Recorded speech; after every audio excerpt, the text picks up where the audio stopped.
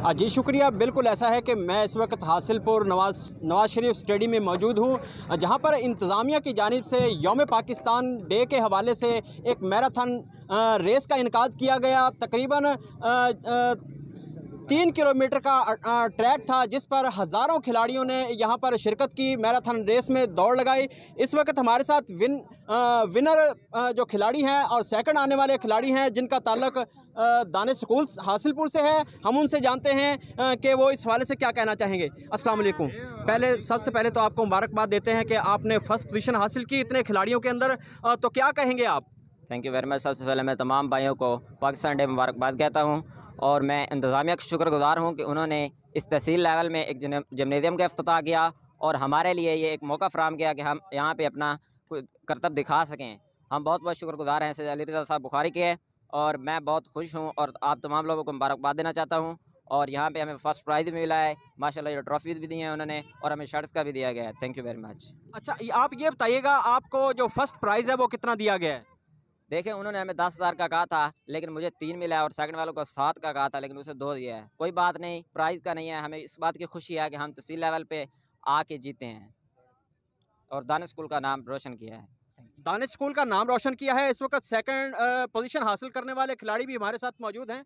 हम उनसे भी जानेंगे कि वो इस वाले से क्या कहना चाहेंगे। जी आप क्या कहेंगे इस वाले से? बिस्मिल्लाहिर्रहमानिर्रहीम। सबसे पहले तो मैं आप सबको पाकिस्तान डे के लिए मुबारकबाद देता हूँ। उसके बाद जो रेस हुई है बहुत ही शानदार रेस हुई है और बहुत से खिलाड़ियों ने इसमें शिरकत की है। तो रेस से पहले तो हर कोई यही कह रहा होता है कि भाई मैं जीतूँगा कौन जीतेगा? एक दूसरे पे लोग हंस रहे होते हैं। पता उस वक्त चलता है जब बंदा मैदान में आता है। तो तीन किलोमीटर कम अज़ कम ये रेस थी और इसमें बहुत अच्छा एक्सपीरियंस रहा। थैंक यू अच्छा ये जो इंतज़ामिया की जानब से इंतज़ाम किए गए थे आप उस हवाले से मुतमिन हैं? जी फ़र्स्ट टाइम हुआ है इंतज़ाम में तो कमी पेशी होती रहती है और इस बार भी हुई है। कुछ बच्चों ने मोटरसाइकिल के ज़रिए अंदर आने की कोशिश भी की है। लेकिन जो मेहनत करता है अल्लाह ताला उसकी मेहनत ज़ाया नहीं जाने देता। तो जिन्होंने मेहनत किया उनको मिली है आपको कितना प्राइस दिया गया है? मुझे दो हज़ार दिया गया। नेट कैश जी। तो कितना पहले आपको कितनी अनाउंसमेंट बताई गई थी? सात हज़ार का आ गया था लेकिन दो हज़ार में। दो हज़ार दिया गया। और उसके साथ ये ट्रॉफी है? जी ट्रॉफी और टी शर्ट है? बिल्कुल। अब आप नौजवान खिलाड़ी को क्या पैगाम देना चाहते हैं कि खेलों के मैदान आबाद करें? खेलों के मैदान जैसा कि हर कोई मेहनत से ही आगे आता है जो मेहनत करता है वो आगे आ जाता है। इसमें लोगों ने आगे से शमूलियत इख्तियार की है लेकिन मोटरसाइकिलों से आने की।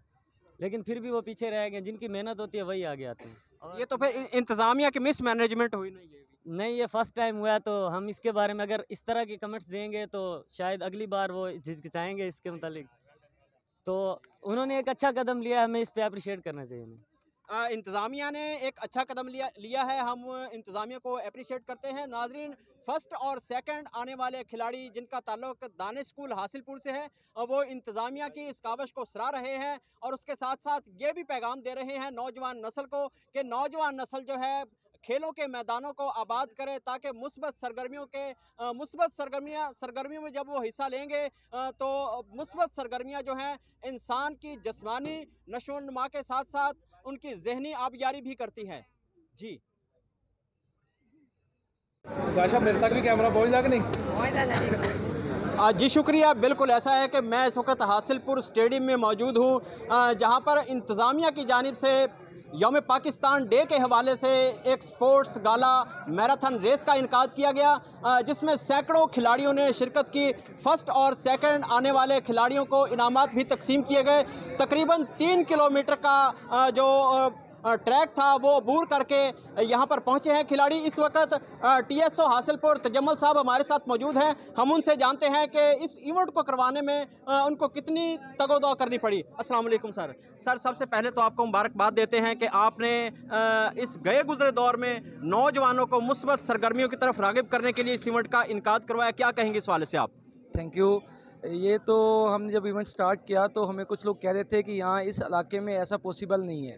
तो हमने तकरीबन पिछले दो वीक से हम लगातार स्ट्रगल कर रहे हैं, मैं, मेरी टीम और ख़ासकर जैन बुखारी साहब। उन्हें हमें बहुत अच्छी तरह सपोर्ट किया है, इस इवेंट को करवाने में फाइनेंशियली भी सपोर्ट किया उन लोगों ने और जहाँ तक हम लोगों ने इसको कंप्लीट किया है, तकरीबन ये जितने मेरे साथ पीछे खड़े हुए हैं पी टी सबान है, इन लोगों की बड़ी काविश है इसमें, अपने एथलीट लेके आए हैं और हम कोशिश करेंगे कि हर साल इस तरह का एक इवेंट यहाँ करवाएँ और इसके साथ मज़ीद गेम्स भी ऐड करें हम। सर, जो फ़र्स्ट और सेकंड स्टूडेंट्स आए हैं, उनका किस इदारे से ताल्लुक था, ये बताइए। उनमें से कुछ तो दानिश स्कूल से हैं और कुछ मतलब किसी जनरल पब्लिक से भी हैं। इस तरह से जो तीन फ़र्स्ट लोग हैं उनमें से दो दानिश स्कूल हासिलपुर से हैं। अच्छा ये जो आपने बच्चों को इसमें शिरकत करने के लिए इसका क्या क्राइटेरिया रखा गया था? इसमें क्राइटेरिया नहीं ओपन था। आप किसी एज का कोई एज लिमिट नहीं थी इसमें। सिर्फ़ ये हो कि बंदा तहसील हासिलपुर से हो। इसी हासिलपुर के लोग ही इसमें पार्टिसिपेट कर सकते थे। सर, ये भी बताइएगा फ़र्स्ट सेकंड और थर्ड आने वाले खिलाड़ियों को क्या प्राइस दिए गए हैं? उनको कैश प्राइज ट्रॉफी और प्लस एक टी शर्ट दी गई है उनको। पार्टिसिपेशन को कोई इनामात वगैरह? इनामात उनको पाँच पार्टिसिपेशन का इनामात नहीं था, लेकिन जो हम देख रहे हैं, जो फ़र्स्ट फिफ्टी लोग हैं, उनमें भी हो सकते हैं हम शर्टें तकसीम करेंगे। अच्छा सर कुछ यहाँ यहाँ पे स्टूडेंट्स जो, जिन्होंने रेस में हिस्सा लिया, वो ये गिला शिकवा कर रहे थे। कि बाहर फ्लेक्सी भी लगी हुई है कि दस हज़ार रुपया फ़र्स्ट प्राइज़, सेकंड प्राइज़, सात हज़ार और थर्ड जो है वो पाँच हज़ार रुपया अनाउंस किया गया था, लेकिन फ़र्स्ट तीन हज़ार दिया गया है, सेकंड दो हज़ार दिया गया और थर्ड जो वो एक हज़ार दिया गया है। इसमें कितनी सदाकत है? ये है, ये जो है ना क्रिकेट का टूर्नामेंट है, उसमें हम दस हज़ार फ़र्स्ट प्राइज़ दे रहे हैं और फाइव थाउज़ेंड सेकेंड प्राइज़ है। ये हमारे क्लब है वसीम छिमिया का, वो करोज के साथ हम कॉपरेशन करके करवा रहे हैं। क्रिकेट का फ़र्स्ट प्राइज़ दस हज़ार है सेकंड पाँच हज़ार है। इसमें हमने मेंशन नहीं किया जाता था कितना ट्रॉफी उसका प्राइज़ होगा। Trophy, cash prize plus shirt था, वो हमने दे दिया हमको। सर, नौजवान नस्ल को क्या पैगाम देना चाहेंगे खेलों के मैदान आबाद करने के लिए? जनाब, ये एक ऐसी एक्टिविटी थी जो कि इसमें हर बंदा पार्टिसिपेट कर सकता था। मेरा नौजवान नस्ल के प्रोग्राम ये है कि आप खासकर फ़िज़िकल एक्टिविटी में पार्टिसिपेट करें, रेस, एथलेटिक्स, कोई भी इवेंट है उसमें पार्टिसिपेट करें। जितनी ज़्यादा आपके ग्राउंड आबाद होंगे, उतने आपके अस्पताल वीरान होंगे। सर, आखिरी सवाल जहाँ पर जिस स्टेडियम में हम इस वक्त खड़े हैं बुनियादी बुनियादी जो सहूलियात हैं, उनका फुकदान है, लाइट नहीं है पीने वाले पानी का कोई मुनासब इंतज़ाम नहीं है और ये जो इसका शेड जो है, ये भी टूट, टूटा हुआ है। होना तो ये चाहिए था कि करोड़ों रुपए जहाँ पे नए स्टेडियम पर लगाए गए थे को थोड़ा सा जो फंड था वो यहाँ पर लगा के इसकी मेंटेनेंस भी करवाई जाती, ले, करवाई जा सकती, लेकिन इसको, इसकी तरफ़ तवज्जो नहीं दी गई। क्या कहेंगे इस वाले से आप?